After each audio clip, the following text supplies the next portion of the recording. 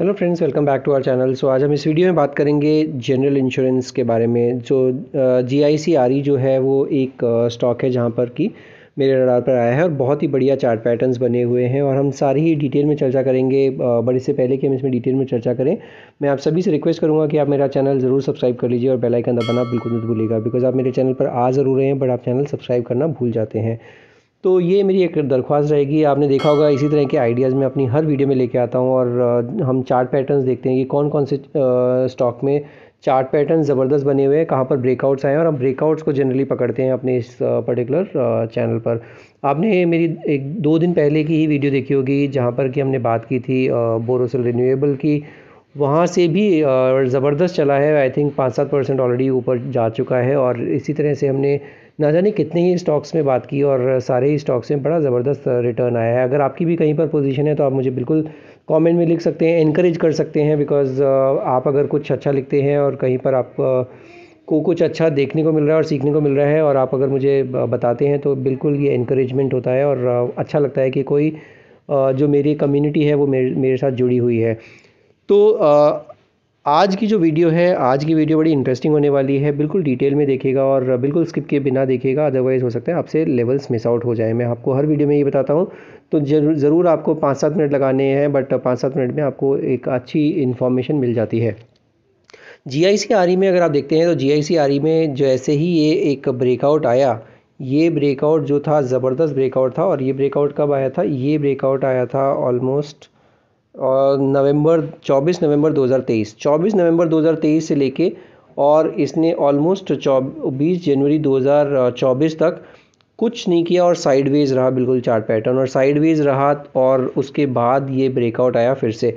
तो ऑलमोस्ट दो महीना इसमें कुछ हलचल नहीं हुई है और दो महीना एकदम कंसोलिडेट किया है एक टाइट रेंज में और उस टाइट रेंज में कंसोलिडेट करने के बाद अब ये चलना शुरू हुआ है और जो 19 जनवरी 2024 को जो एक ग्रीन कैंडल बनी है, जो कि ज़बरदस्त कैंडल है, और वहाँ पर एक अच्छा खासा ब्रेकआउट आया।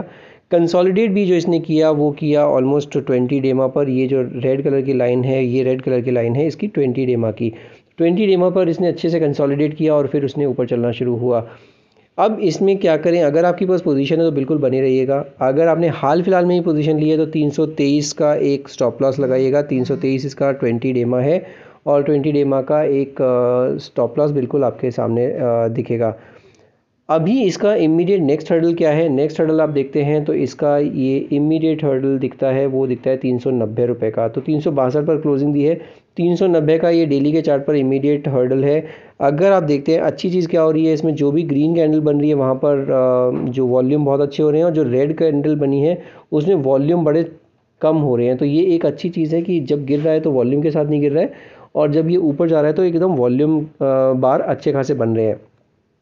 तो ये डेली का चार्ट हो जाता है। डेली के चार्ट पर अगर आप देखते हैं, पैंसठ का आर एस आई है तो वो भी बहुत बढ़िया लग रहा है। तो जी I C are I R E बहुत ही अच्छा चार्ट पैटर्न है डेली के चार्ट पर। एक बार इसको वीकली के चार्ट पर भी देख लेते हैं। वीकली के चार्ट पर कैसा पॉइंट है और वीकली के चार्ट पर अगर आप देखते हैं तो ये मैंने वीकली का चार्ट लगाया आप आप सभी के सामने। और वीकली के चार्ट पे एक बहुत ही बढ़िया, एक ज़बरदस्त राउंडिंग बॉटम का ब्रेकआउट आया था, वो ब्रेकआउट किस लेवल पर आया था, वो भी ब्रेकआउट आया था 320 के आसपास। 320 का जो ये ब्रेकआउट था बहुत ही अच्छा खासा ब्रेकआउट था और अब इसमें नेक्स्ट जो पड़ाव देखने को मिल सकते हैं, वो देखने को मिलेंगे। तो इसका नेक्स्ट पड़ाव जो देखने को मिलेगा, वो मिलेगा पाँच सौ रुपये का, क्योंकि ये जो विशाल का राउंडिंग बॉटम है, ये राउंडिंग बॉटम आपने देखा होगा, बहुत पुराना ये ब्रेकआउट आया था। ये ब्रेकआउट था ऑलमोस्ट 2019 अक्टूबर नवंबर के आसपास। तो अक्टूबर, नवंबर 2019 के बाद अब ये इसने वापस से इस लेवल को छुआ है और इस लेवल को छूने के बाद काफ़ी अच्छे से इसने कंसोलिडेट किया इसी लेवल पर और कंसोलिडेट करने के बाद ये ऊपर चला। तो या तो रीटेस्ट करे इस लेवल को या फिर कंसोलिडेट करके ऊपर चले तो दोनों ही सिचुएशन में बहुत बढ़िया लगता है।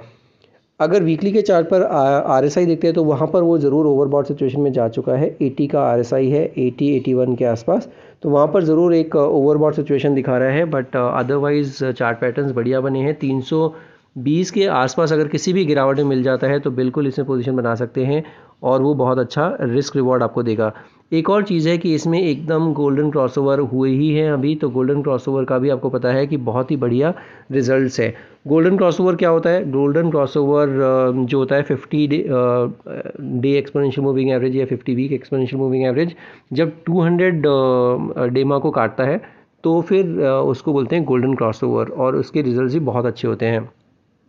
तो ये जी आई सी आर का वीकली का चार्ट भी बड़ा ज़बरदस्त लग रहा है। एक बार मंथली के चार्ट पर भी देख लेते हैं कैसा है और मंथली के चार्ट पर भी आपको दिखेगा। यही एक लेवल था जो तीन सौ बीस का, यही पर हर्डल था और ज़बरदस्त हर्डल था। तो इस हर्डल को ऑलरेडी ये क्रॉस कर गया है कन्विक्शन के साथ और अब इसमें जो नेक्स्ट इमीडिएट पड़ाव देखने को मिलेगा, वो है इसका चार सौ रुपये का, चार सौ बयालीस, चार सौ चालीस का एक लेवल है, जो इसका ऑल टाइम हाई है। तो चार सौ चालीस के लिए एकदम तैयार हो रहा है ये तीन सौ नब्बे का पहला पड़ाव, उसके बाद चार सौ चालीस और उसके बाद पाँच सौ चालीस रुपये का जो नेक्स्ट पड़ाव है, वो एक ज़बरदस्त टारगेट्स इसके लिए उभर कर आ रहे हैं। हालाँकि इसमें आरएसआई देखते हैं तो मंथली के चार्ट पर भी आर एस है तो वहाँ पर भी ओवरबॉट सिचुएशन में जाने ही वाला है। तो थोड़ा सा वेट कर लीजिए 320 के आसपास अगर किसी भी गिरावट में मिलता है तो वो एक अच्छा लेवल होगा और वहाँ पर आप पोजीशन बनाने के बारे में सोच सकते हैं सो दैट आपका रिस्क रिवॉर्ड अच्छा हो जाए। इसमें हालाँकि मेरी कोई पर्सनल होल्डिंग नहीं है बट हो सकता है मैं इसमें अपना पोजीशन बना लूँ बिकॉज़ चार्ट मेरे को बहुत अच्छे लग रहे हैं और अगर किसी दिन गिरावट पे मुझे मिलेगा तो बिल्कुल मैं उसमें पोजीशन बना सकता हूँ। इसी तरह से अभी हमने जितने भी स्टॉक के बारे में बात की, अगर आपने देखा होगा पीएनबी या फिर आपने ल्यूपिन के बारे में हमने बात की थी ल्यूपिन भी बहुत अच्छा लग रहा था और अरविंदो फार्मा पे हमने बात की डॉक्टर रेड्डीज़ पे बात की जितने भी स्टॉक्स पे हमने बात की है बहुत ही बढ़िया चार्ट पैटर्न्स बने हुए हैं और अभी भी उनमें काफ़ी दमखम लगता है। तो इसी तरह से के इंटरेस्टिंग आइडियाज़ आपको फ्यूचर में भी देखने को मिलते रहे, इसके लिए आप मेरा चैनल ज़रूर सब्सक्राइब कर लीजिए। बेल आइकन दबाना बिल्कुल मत भूलेगा अगर आपको वीडियोज़ अच्छी लग रही हैं कंटेंट अच्छा लग रहा है तो do give me thumbs up and don't forget to share it with your friends and family as well आज की वीडियो में सिर्फ़ इतना ही। Will see in the next video thank you so much for watching this video